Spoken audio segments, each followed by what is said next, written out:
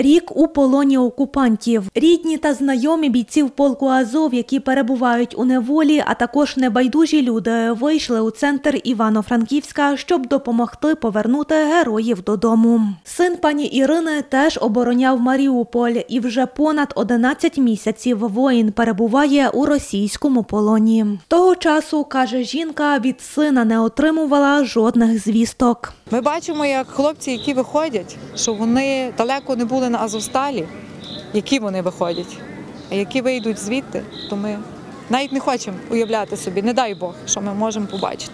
Я думаю, що це реально. Реально їх визволити, реально домовитися.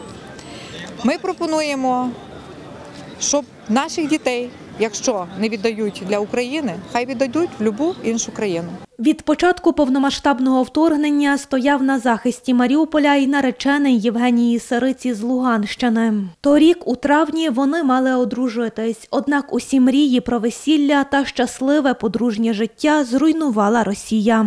Спілкування було дуже давно до виходу, ну, до виходу в полон.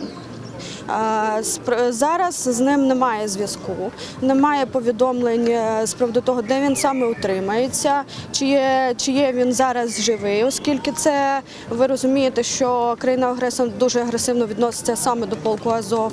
І е, ну, на жаль, на жаль, деяких ну, інших повідомлень немає. Мешканка Івано-Франківська Марія вже майже рік чекає хоч якихось звісток від свого брата. Він тримав оборону на Азовсталі. Дівчина знає тільки те, що воїн живий. Ми в повній невідомості.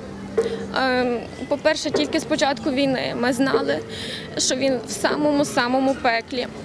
А потім, коли ми дізналися, що вони вийшли по наказу, ми очікували, що це буде максимум три місяці. Ми не очікували, що це затягнеться майже на рік. І це тотальна невідомість.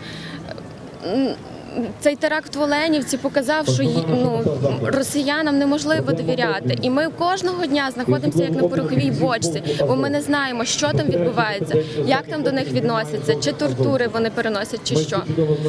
Дуже важких цих 11 місяців. Що так як вони вийшли по наказу, їх би мали звільняти першочергово, тому що вони стояли 86 днів в Маріуполі в страшних умовах у повному оточенні.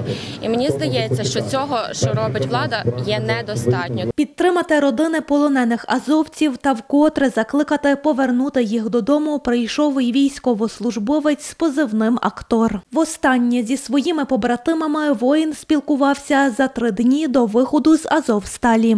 Ніхто не був готовий здаватися, але є наказ, і наказ повинно потрібно виконувати. І вони виходили, як ви бачили по відео, які нам е, скидали ось ці змі, е, не наші, е, що вони виходили з гордо піднятою головою. Нагадаємо, досі у російському полоні перебувають більше семи сотень бійців полку Азов.